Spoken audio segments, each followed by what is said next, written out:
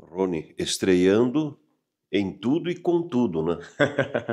é, em tudo e com tudo, fico feliz, né? Primeira, fui eleito aí o segundo mais votado de Erechim. Tenho que agradecer à população que confiou em mim, confiou no meu trabalho.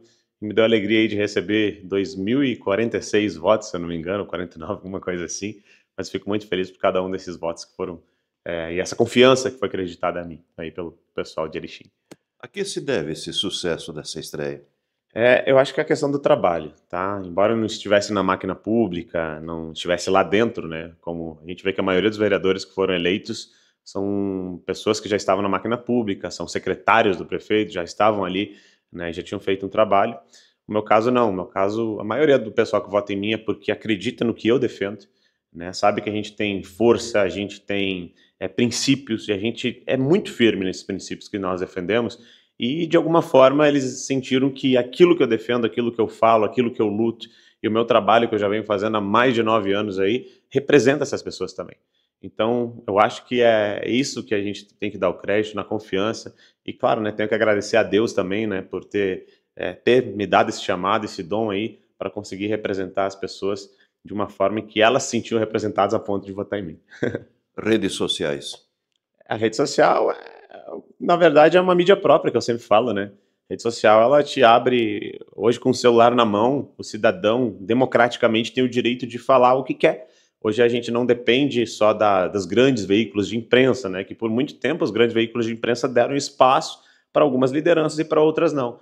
E as redes sociais permitem que alguém como eu, filho de caminhoneiro, né, minha mãe que é uma cabeleireira, alguém que estudou por bolsa, né, estudou na URI, fui empacotador de supermercado no Caetá, no Master, trabalhei de servente de pedreiro aqui em Erechim, me formei em Direito, entrei para a política e por causa das redes sociais do nosso trabalho me permite que hoje eu venha a ser aí o segundo mais votado de Erechim.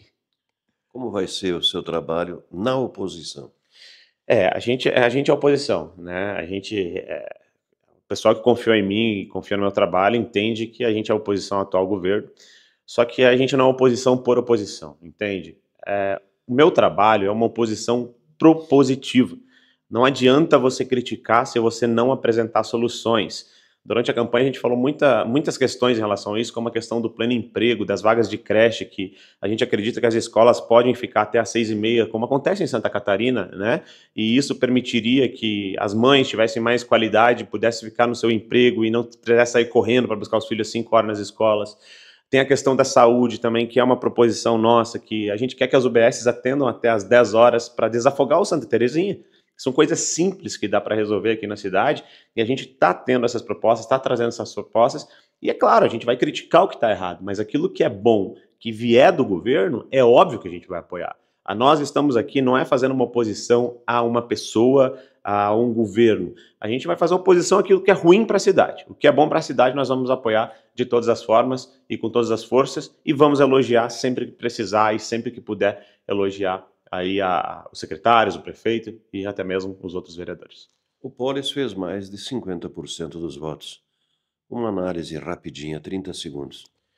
Eu creio que é, se ele fez mais de 50% dos votos é porque a população entendeu que 50% da população entendeu que ele poderia dar continuidade ao trabalho dele, né? Mas a gente tem que lembrar que 49% da população entendeu que ele não é o prefeito ideal entende? Ou seja, eu também estou representando esse 49% da população.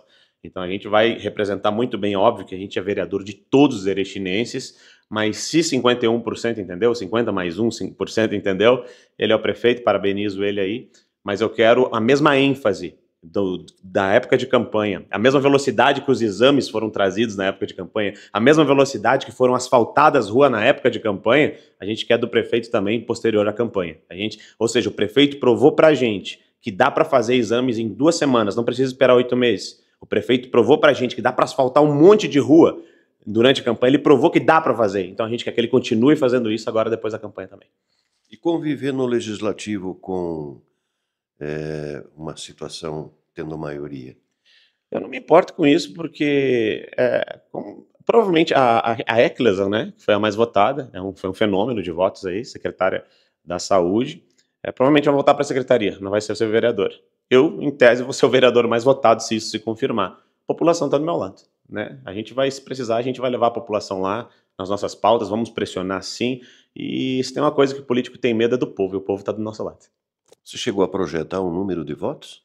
É, antes da eleição, o número de votos que eu projetei foi muito próximo daquilo que eu alcancei. Era um pouco mais de 2 mil votos e deu 2.049 votos. Aí. Então eu quero agradecer aí o pessoal de Erechim, a população confiou no meu trabalho. E eu vou dizer uma coisa para vocês, da mesma forma que eu falei durante as eleições. Esperem de mim garra, força, fiscalização, um vereador que fiscaliza, que olha licitação por licitação, parafuso por parafuso.